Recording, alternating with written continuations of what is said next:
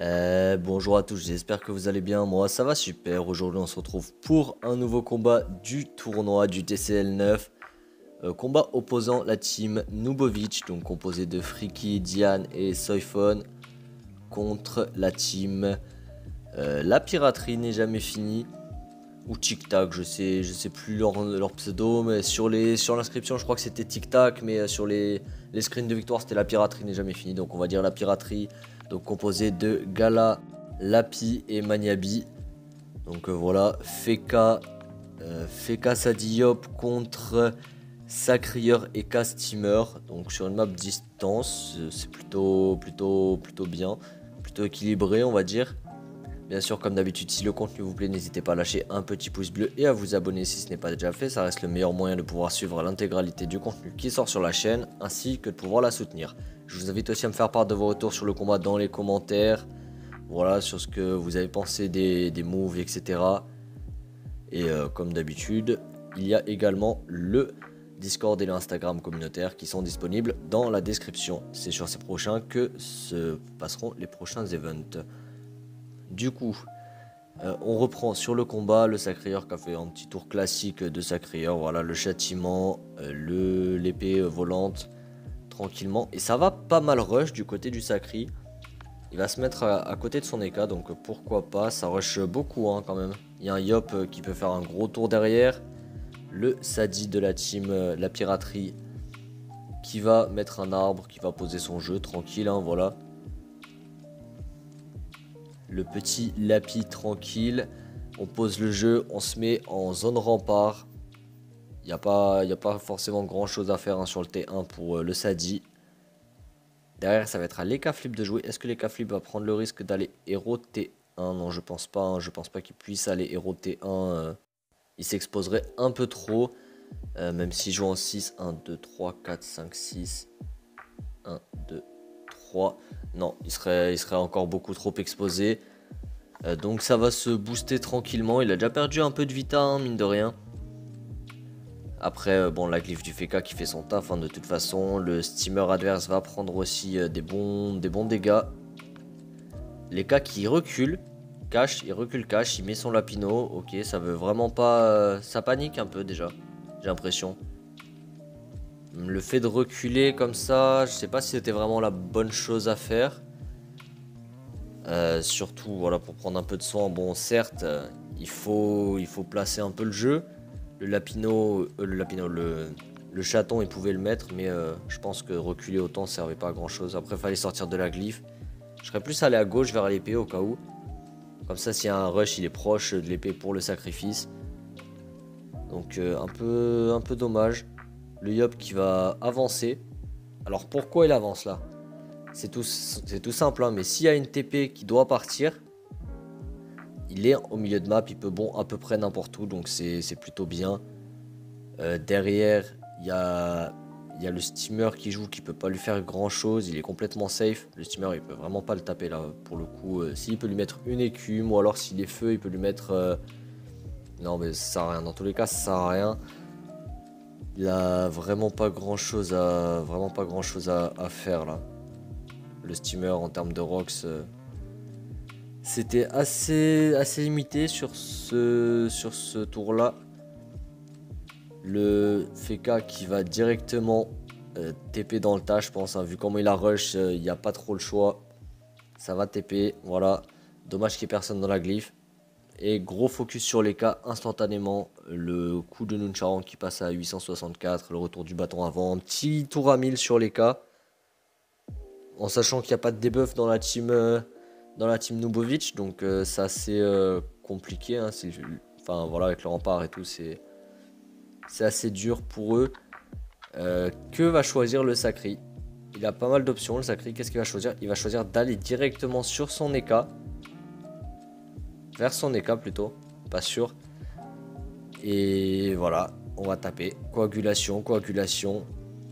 C'est déjà compliqué là. C'est déjà compliqué en ce début de game. Franchement, euh, c'est coup dur. Après, cette compo, bah, on joue la même compo que la piraterie, comme vous avez vu sûrement euh, sur le premier, euh, le, premier, la première rediff du tournoi que j'ai mis.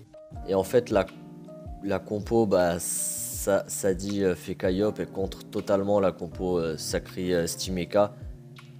Il n'y a rien à faire. Je pense pas que ce soit possible de gagner. ou alors vraiment en ayant un gameplay irréprochable avec un bon game plan. mais sinon ça me paraît assez compliqué. Là, en termes de compo, ils sont assez désavantagés. C'est dommage. La folle qui va être placée, ça va essayer de retrait le sacré, ça va pas marcher. Par contre, le moins 3 sur le steamer qui fait bien plaisir. Derrière la gonflable qui fait son taf, elle suffit largement en soin. S'il n'y a pas de debuff, il n'y a personne qui joue de pou. Euh, à la limite, il aurait fallu un steamer euh, terre avec un, EK, euh, EKR ou OR de pou. Hein, voilà. Tout simplement pour pouvoir pallier au manque de, au manque de dégâts, mais bon, compliqué. Là, les réflexes qui vont partir, donc ça érode le FK, ça c'est plutôt pas mal. Par contre, le fédéral FK, ça met une petite pression. Bon, après, euh, derrière, il y a le Yop qui peut aller mettre sa pression à lui. Hein. Il peut faire du très très sale. Et ça rapproche le chaton, ça va soigner un peu le sacrieur.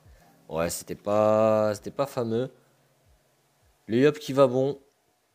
Le hop qui va bon, obligatoire, hein, ça va aller sur le, sur le steamer, voilà. En plus, il a bon sur EK et sur Steam, donc ils prennent les dégâts en plus. La zone érosion qui est juste magique.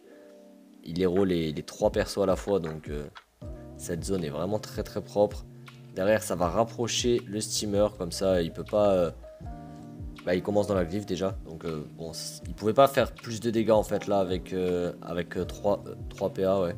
Avec 3 PA, un coup de dague, ça faisait moins de dégâts que, que du 1100 qu'il a pris dans la glyphe, plus, plus la tourmente. Donc vraiment incroyable là pour le coup. Le steamer adverse qui va mettre un secourisme. Mais bon, marée plus secourisme, il perd déjà 6 PA, il avait plus grand chose à faire malheureusement. Euh, vu qu'il a pris un moins 3 de la part de la folle. Et derrière, malheureusement, le FK de la team La Piraterie se fait soigner par la gardienne. il aurait pu... Bah, il avait une... Euh, est-ce qu'il avait la LDV Non, il avait pas la LDV. Euh, pour mettre une cuirasse. Bah, aussi, remarque, il aurait pu la mettre avant de TP. C'est dommage. Première erreur qui coûte... Enfin, première erreur. Première grosse erreur, on va dire. Laisser la, gardienne soin les ennemis. Ça va pas...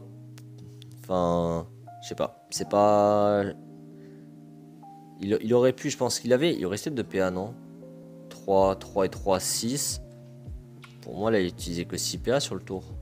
Il devait lui rester 2 PA en rab, il s'en est fait le 3. Donc s'il joue en 11 de base, ouais, c'est ça, il devait lui rester 2 PA en rab. Bon, assez dommage. Le Sacri qui va aller essayer de tacler le Sadi adverse pour pas qu'il vienne faire trop de dégâts. Hein. Oh, ça l'embête bien en plus là. Le, Sadi pour le coup il est bien embêté. Il peut pas aller euh, trop gratter sur, euh, bah, sur le steamer adverse. Après bon, euh, ça fait un gros multifocus quand même. Ouais, ça fait un, beau multifocus, c'est assez dommage. Étant donné que le FK est érodé, il aurait pu tenter un truc sur le, sur le FK. Bon, c'est pas grave. Le Sadi, du coup, qui va arbre tremblement pour se détacler, classique. On voit que le Sacréeur ne joue pas en bouclier tenace. C'est dommage. C'est dommage, un PM de plus, c'est toujours bon à prendre. Tenace qui pour moi est, le meilleur passif, hein, je pense. Euh, le fait de se rajouter, de, gagner un PM quand, on se fait déplacer, c'est vraiment très fort. L'herbe folle qui passe quand même à 464, donc euh, une belle herbe folle, ça fait des bons dégâts. Derrière une 408. Et euh, bien sûr, ça va aller se mettre à côté de la, gardienne, étant donné que comme ça il peut se faire soin assez tranquillement le sacré qui prend un moins 1, le steamer qui prend un moins 1 également. Euh, la folle est rentable. La folle est très rentable sur ce combat. Elle aura le 5 PA au total pour l'instant. Et personne euh, personne la calcule, hein. donc euh, c'est vraiment très très cool. Hein. Moins 5 PA, ça coûte 4. elle aura le 5 PA. Et je crois qu'il n'y a aucun sort à 2 PA qui peut la clean dans le jeu. Peut-être une concentration d'un Yop full terre Ouais, si. Concentration, Yop full terre, ça la clean. Mais euh, bon, il n'y a pas de Yop full terre dans la team, euh, team euh, Denubovic. Donc assez compliqué là. Assez compliqué. Encore une fois, le là ça va les soins, le steamer. derrière, ça va taper le Sadida avec le chaton. Alors, euh, bon, il faut, hein, de toute façon, il faut continuer à essayer de maintenir une certaine pression. Mais ça, c'est quand même compliqué. C'est quand même très très compliqué.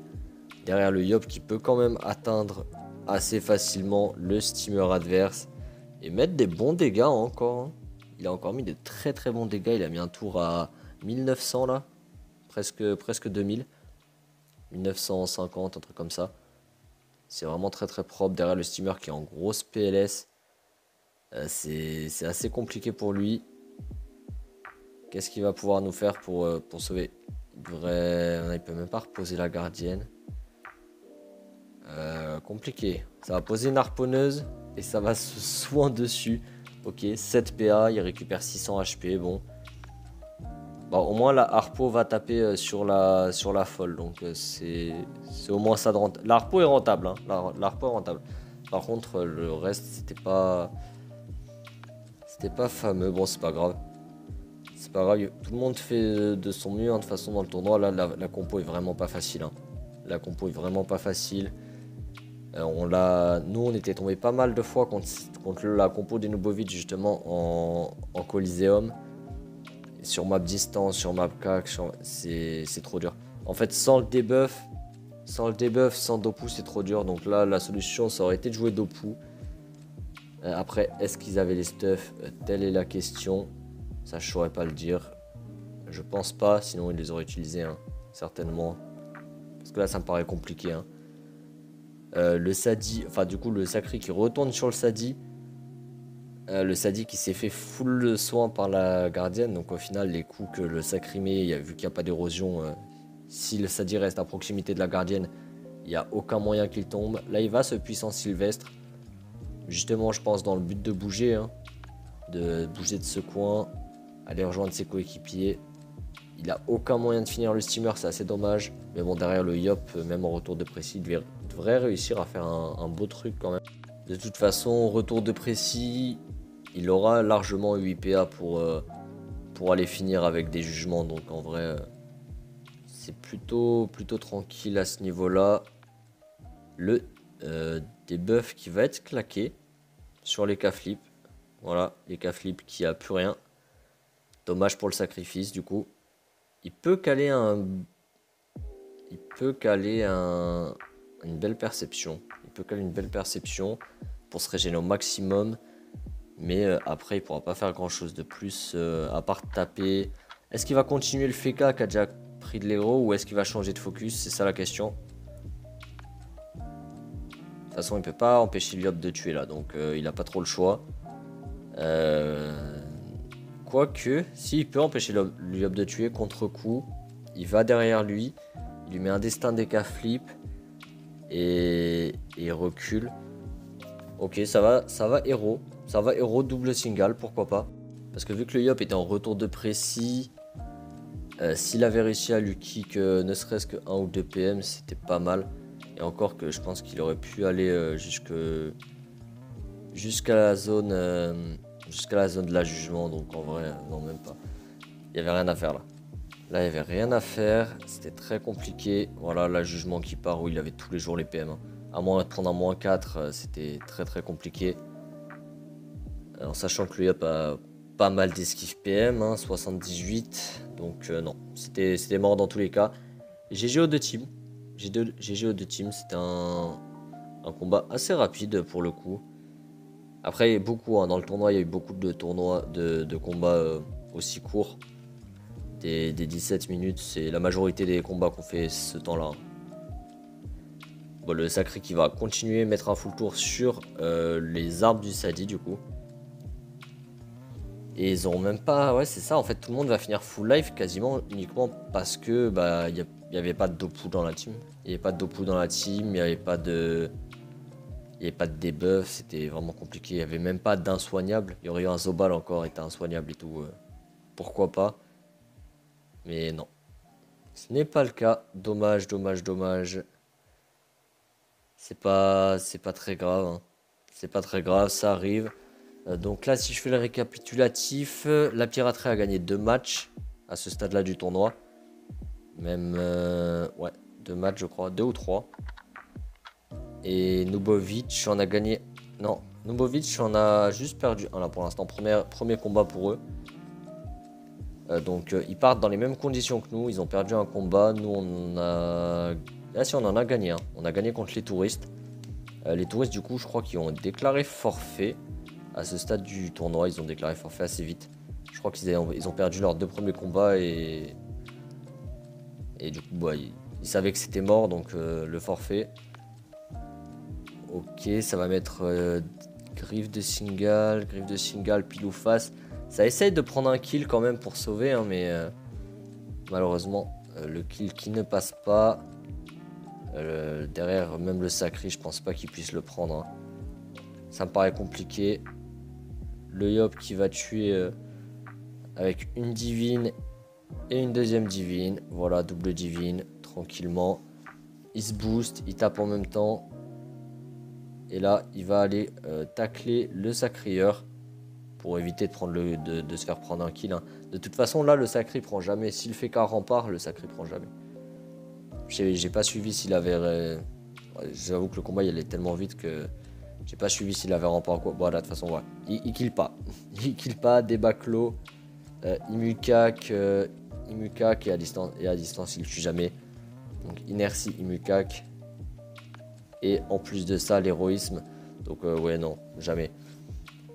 Et là, ça, ça j'ai bien aimé par contre. Vous allez voir le tour qu'il va faire. Il va euh, mettre une condensation. C'est très très bien. Il va, il va essayer euh, de détourner, mais ça marche pas. Il va mettre une condensation qui va décaler le sati là-bas. Et en fait, du coup, là, il aura tapé les trois adversaires dans le même tour.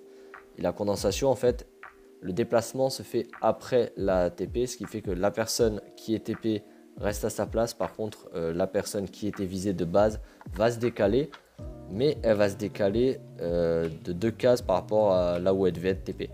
Donc c'est très très drôle à voir. Euh, du coup, bah nous on va s'arrêter là pour ce combat. J'espère qu'il vous aura plu. Merci à tous d'avoir regardé ce combat jusqu'à la fin. C'était plus court que d'habitude, mais c'est cool, hein. ça fait un peu souffler, on va pas se mentir. Et on se retrouve très bientôt pour une prochaine vidéo. C'était Mars. Ciao ciao